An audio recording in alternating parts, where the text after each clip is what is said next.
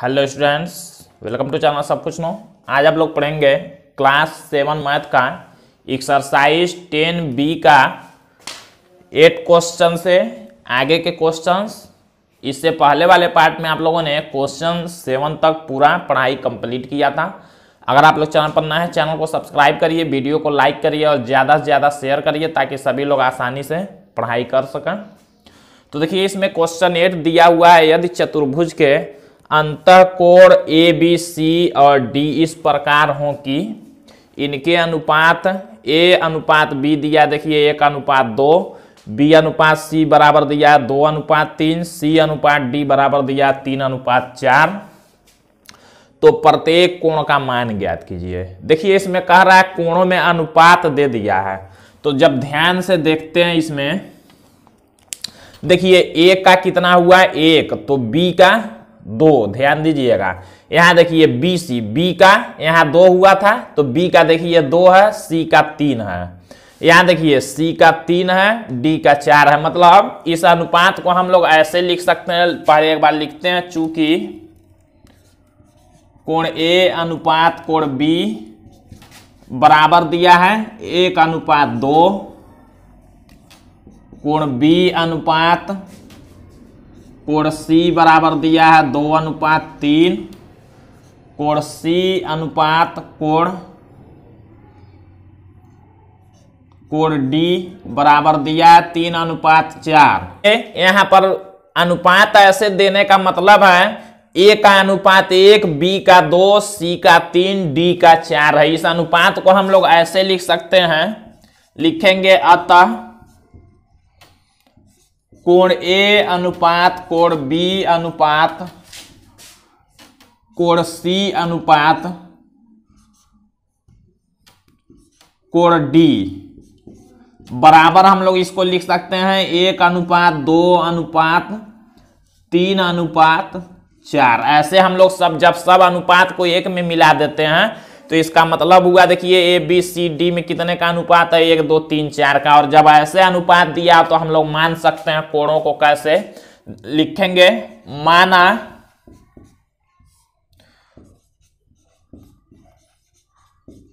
चतुर्भुज का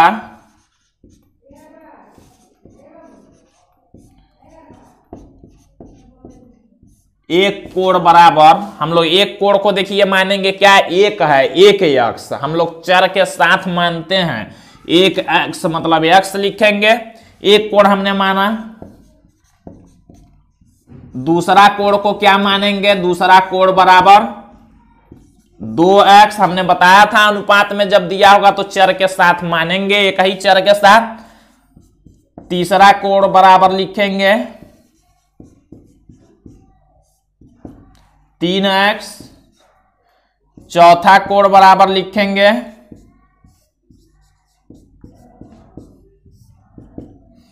चार एक्स।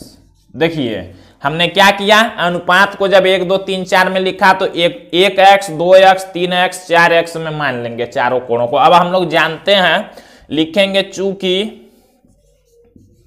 चतुर्भुज के चतुर्भुज के चारों कोणों का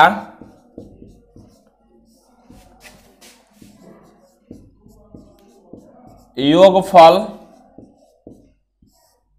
360 अंश होता है। ये हम लोग जानते हैं। चतुर्भुज के चारों कोणों का योगफल 360 चारों कोण हमने मान लिया तो हम लोग ऐसे लिख सकते हैं। X plus two x plus three x plus four x equal three sixty degree.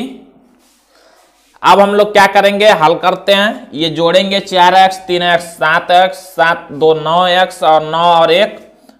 ये हो जाएगा दस एक्स बराबर तीन सौ साठ अंश।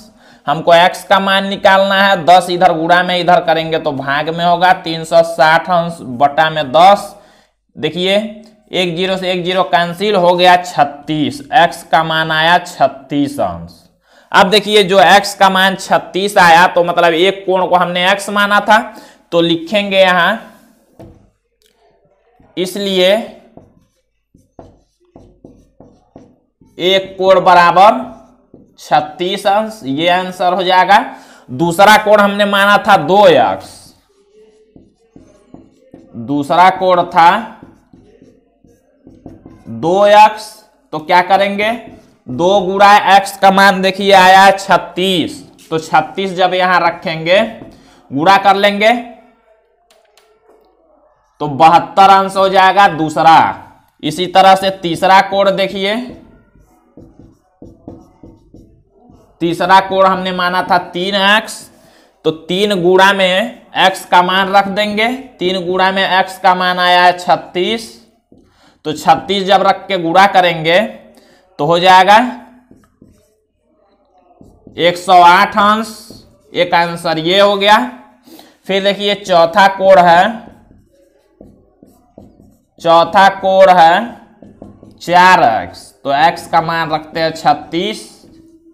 तो चार गुड़ा में छत्तीस जब करेंगे, एक सौ चौवालीस अंश, ये आंसर होगा। तो देखिए एक कोण हो गया छत्तीस, दूसरा बहत्तर, तीसरा एक सौ आठ, चौथा एक सौ चौवालीस अंश। तो इस तरह क्वेश्चन को सॉल्व कर लेना है। अब हम लोग इस एक्सरसाइज टेन बी का last question question number nine को देखते हैं। ये यहाँ पर क्वेश्चन नंबर नाइन दिया एक समद्विबाह त्रिभुज एबीसी का शीर्ष कोण 40 अंश त्रिभुज की भुजा ए बी और एसी के मध्य बिंदु क्रमशः एम और एन है। बिंदु एम और एन को मिलाइए, इस प्रकार बने चतुर्भुज बी एम एन सी के अंत कोण बी एम एन तथा कोण सी एन एम का योग ज्ञात कीजिए। इनका अलग अलग मान भी ज्ञात कीजिए। तो पहले इसको पढ़ के हम लोग फिगर बनाते हैं। कह रहा है समद्विबाह त्रिभुज ए बी सी तो हम लोग बनाते हैं यहाँ।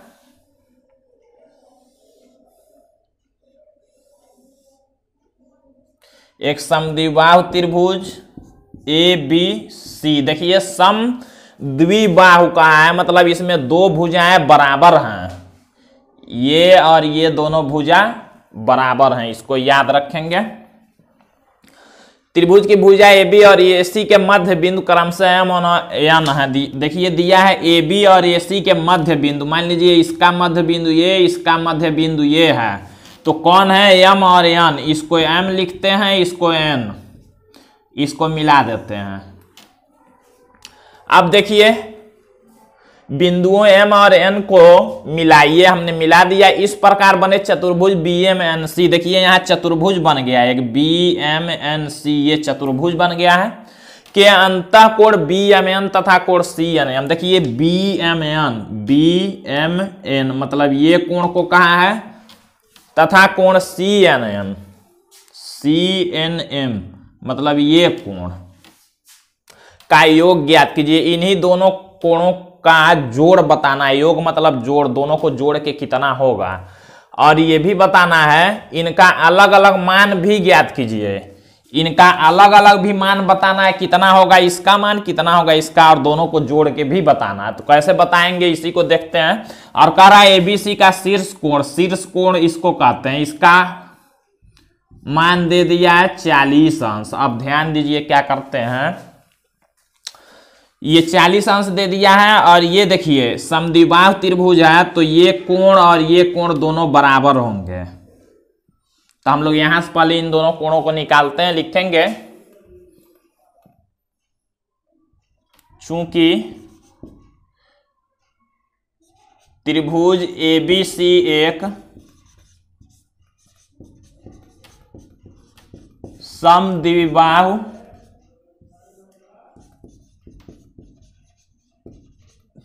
त्रिभुज है। जिसमें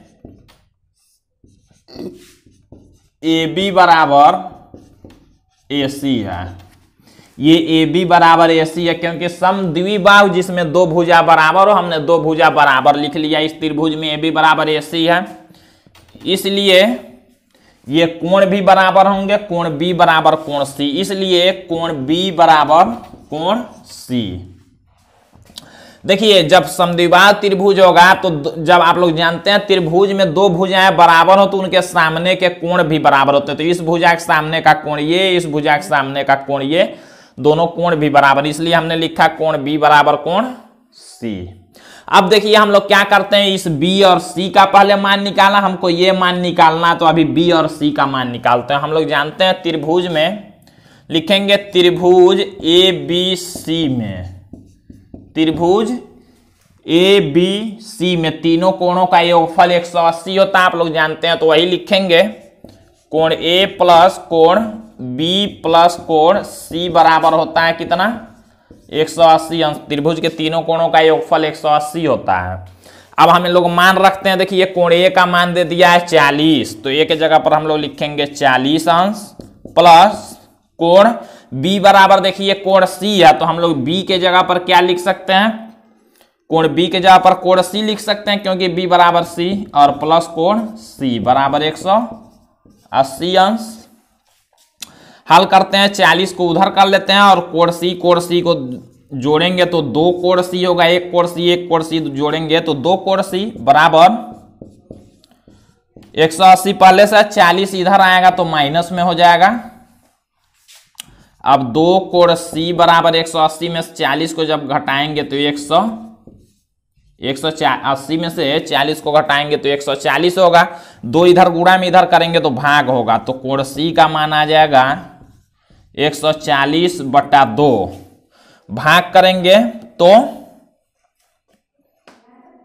सत्तर अंश हो जाएगा। देखिए, कोण सी का मान आया सत्तर अंश।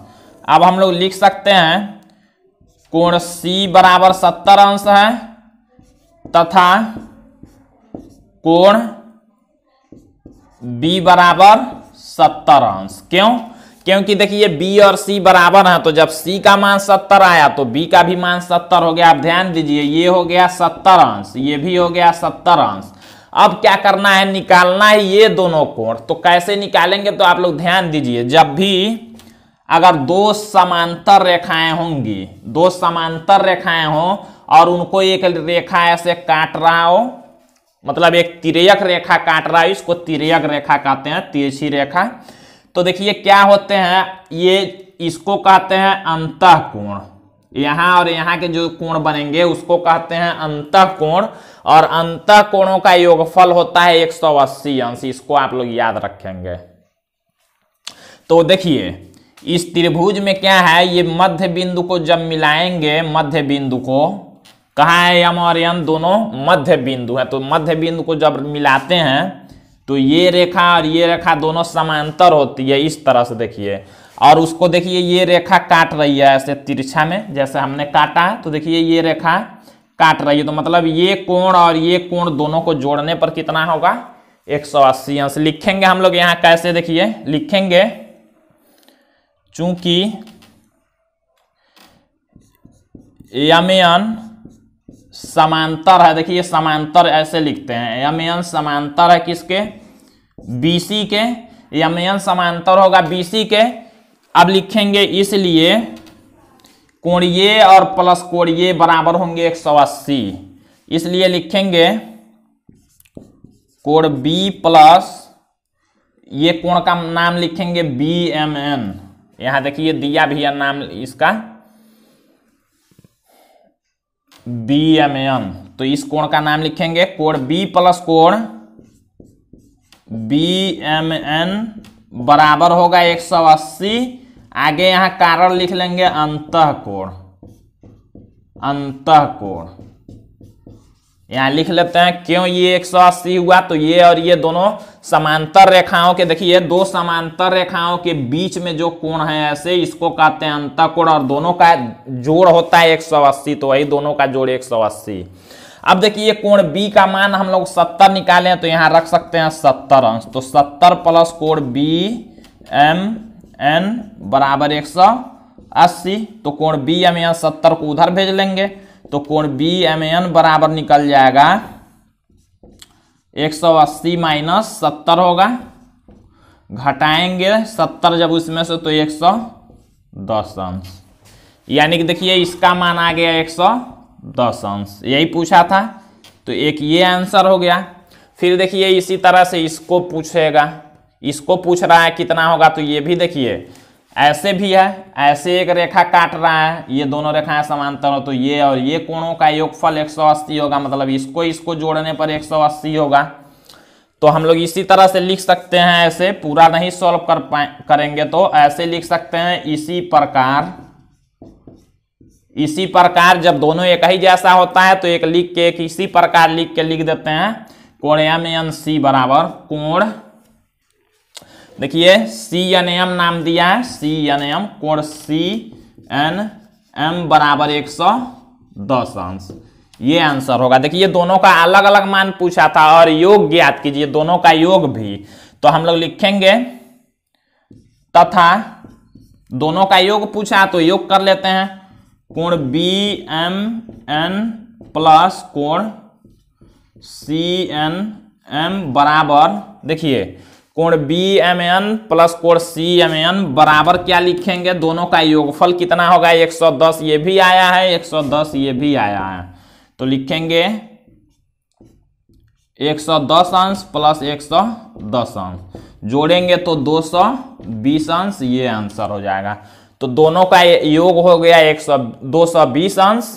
इसमें योग पूछा था और अलग अलग मान 110 110 होगा। तो इस तरह से क्वेश्चन सॉल्व कर लेना है। तो आज ये एक्सरसाइज टेन का भी कंप्लीट हुआ। अगले पार्ट में आप लोग टेन का सी और उसका इंट्रोडक्शन देखेंगे। तो आज के लिए बस इतना ही।